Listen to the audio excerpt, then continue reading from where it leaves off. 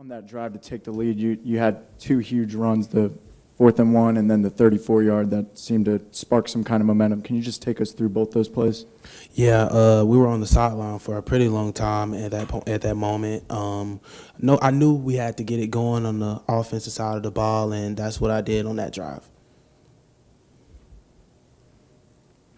It was just over 100 yards rushing in that, just that fourth quarter. What, what did you see or the offense kind of see that started clicking in the ground game? Yeah, definitely. Um, that was something that Coach Kiffin said during halftime. Like, hey, we're still in the game. We have to keep going, uh, get the momentum back, and go out there and execute. Even though it wasn't exactly what we were planning for, we still went out there and played. On two different occasions on fourth down you were in the wildcat formation Mm-hmm. once you scored a touchdown and once you got a crucial first down what's going through your mind when you're in the wildcat formation like that Uh, definitely the down and distance. Where are the chains? Definitely to get the first down because that's typically something we run in like short distance plays or near the goal line.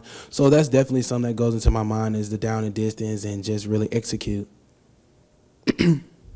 You have a bye week coming up after a big game today, going on the road to Auburn, right down the road. I asked you this in the preseason. What do you think about uh, going back to a game and a place that's kind of close to your hometown?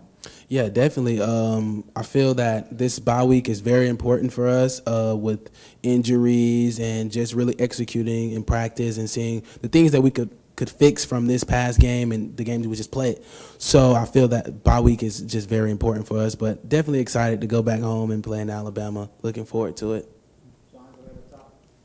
Quinshon, last week, LSU goes on a big run, y'all are down late, and then y'all find a way to, you know, push through. Tonight, Arkansas goes, you know, on a little bit of a run as well, takes the lead in the mm-hmm. fourth, y'all find a way to push through. What do you think that kind of says about this team? I think that that shows the type of team that we are. You know, this is the hardest conference to win football games. So for us to go out there and do whatever it takes to win, it might not be pretty, but to end up one and zero, I think that speaks a lot about our team. Last season, this was a battle of two teams with two of the better rushing offenses in the country. This year, you guys came out on the winning side of that. Just tell me what that means for your running back room.